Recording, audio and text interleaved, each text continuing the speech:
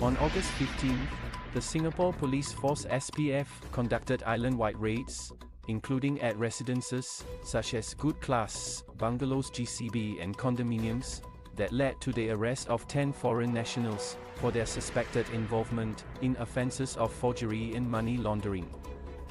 It was one of the city-state's largest anti-money laundering operations. During the raids, about 1 billion Singapore dollars in assets was seized. This included 35 bank accounts, with a total estimated balance of more than 110 million Singapore dollars and cash amounting to more than 23 million Singapore dollars. Prohibition of disposal orders was issued against 94 properties and 50 vehicles, with a total estimated value of more than 850 million Singapore dollars. Additionally, more than 250 luxury bags and watches. More than 120 electronic devices, such as computers and mobile phones, more than 270 pieces of jewelry, two gold bars, and 11 documents with information on virtual assets, were also seized. Money laundering is the process of concealing money obtained through illegal activities, such as drug trafficking, corruption and terrorist funding, by converting them into assets that make them appear to have come from legitimate sources. As money made from criminal activity is considered dirty money, criminals go through the process of laundering or washing the money in order to make them look clean. Criminal money that appears as legitimate assets allows criminals to avoid detection by authorities and enables them to continuously fund and support their criminal activities. Furthermore, it can encourage more criminal activity, as the potential for financial gain makes engaging in illegal activities more attractive.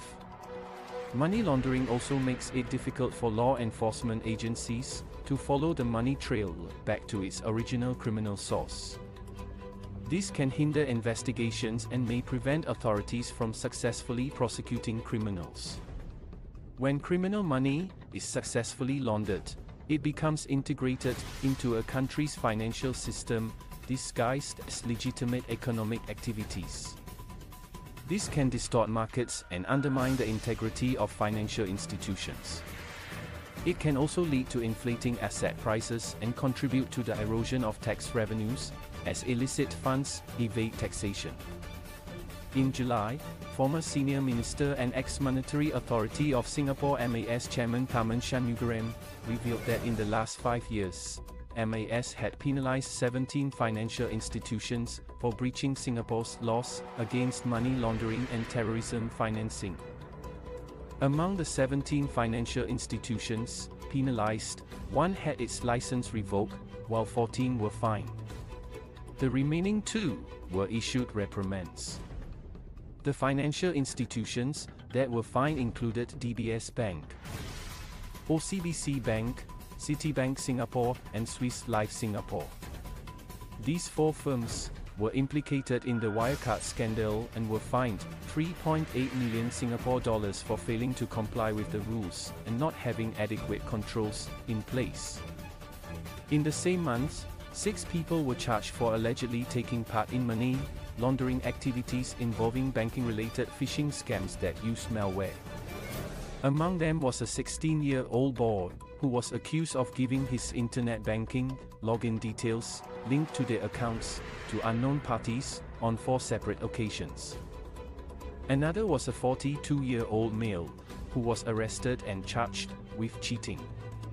Police investigations revealed that he had allegedly deceived a bank into opening an account.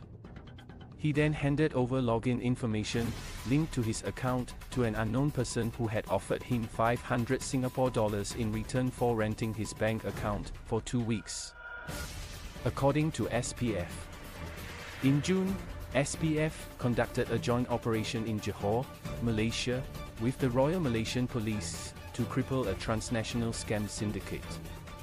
The syndicate comprised of three Singaporean members, allegedly involved in the money laundering of scam proceeds obtained from Singaporean victims. The trio were allegedly responsible for laundering scam proceeds, linked to more than 50 police reports of investment scams, job scams, e-commerce scams, and impersonation of government officials, reported in Singapore. The losses amounted to more than 2.9 million Singapore dollars.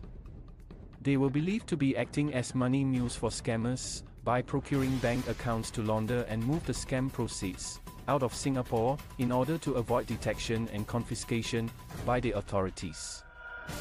Last November, a 55-year-old company director was sentenced to 15 months in jail and fined 5,000 Singapore dollars for facilitating a money laundering scheme. According to SPF, the man had channeled more than 200 US dollars. 000 284,000 Singapore dollars through two of his company's bank accounts after he was offered loans by an unidentified man in a way to earn money without having to borrow from him.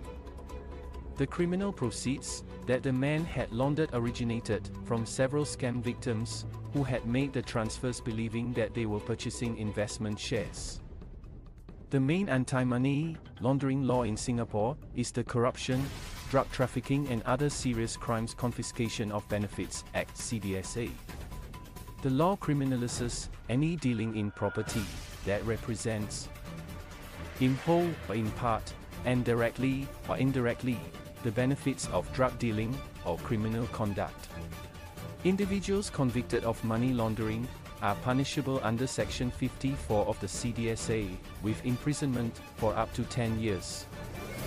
A fine of up to 500,000 Singapore dollars, or both. Additionally, Singapore has the Payment Services Act PSA, which is a framework that details regulatory expectations for payment service providers. MAS is the designated authority that oversees payment compliance and is also responsible for pursuing allegations involving money laundering within Singapore's financial institutions. SPF's Commercial Affairs Department is the main law enforcement agency tasked with investigating allegations of money laundering. An investigation into money laundering cases may also involve the Corrupt Practices Investigation Bureau CPIB and the Central Narcotics Bureau CNB. The Suspicious Transaction Reporting Office STRO is Singapore's intelligence unit. The agency is responsible for monitoring and receiving suspicious transaction reports STRs, cash movement reports CMRs, and cash transaction reports CTRs to uncover any money laundering activities.